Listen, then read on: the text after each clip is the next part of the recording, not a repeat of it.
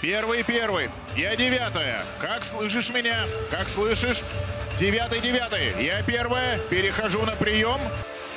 Речь идет о том, что прямо сейчас, первая суббота сентября, то есть девятого месяца, и девятый тур МЛБ первой лиги российской по футболу. И он дает стартовый свисток, и встреча началась.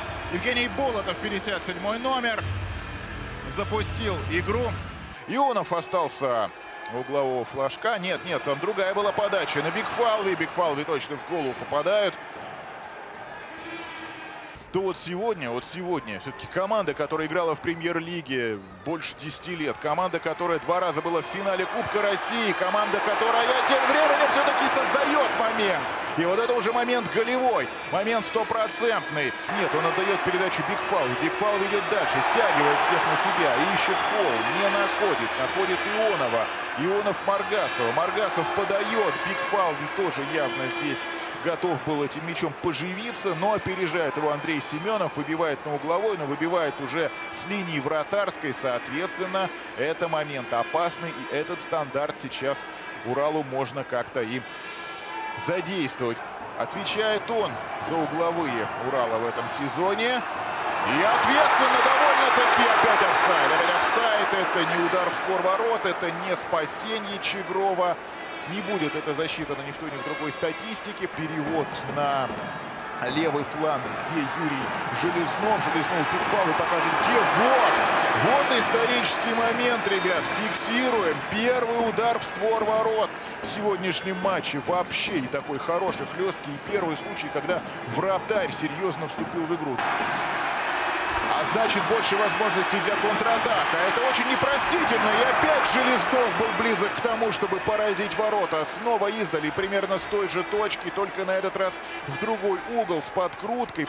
Головой могут сыграть и Бигфалви, и Мамин, и Бегич. Передача как раз на Бигфалви, и Эрик в створ ворот уже пробил примерно с линии 11-метровой отметки. Не слишком сильно. Чегров на месте, берет намертво. Так, Кухарчук тем временем зарабатывает нарушение, но можно играть. Морозов штрафной Урала, и Морозов забивает. Нет вне игры.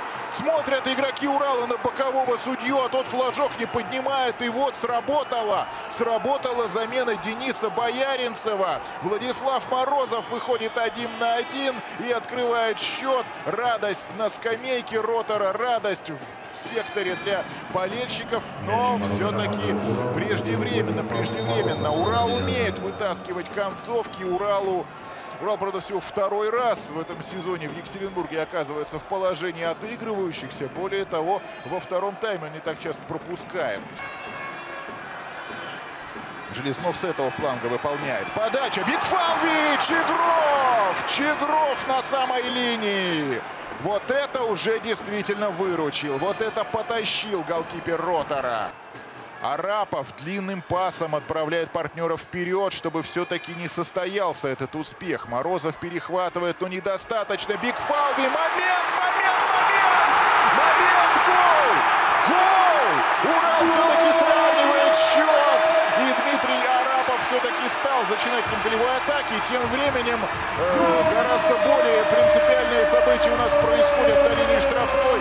Сильвий Бегич за излишнюю эмоциональность изгоняется с поля, но Сикулич, Сикулич все-таки становится во втором подряд матче спасителем Урала. И 1-1, 1-1 все-таки в компенсированное время забивают хозяева. Уже 6 добавленных минут прошли и не дает даже это касание ему совершить Карпов. И как от изнеможения валятся просто игроки и Урала, и Ротора на газон. Для вас работал комментатор Борис Аболин. Выбирайте правильный путь к победе, и да не оставит вас удача. Счастливо!